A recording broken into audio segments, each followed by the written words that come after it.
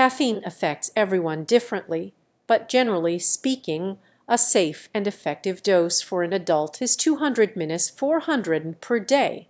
This amount is equivalent to 2 minis. 4 cups of brewed coffee.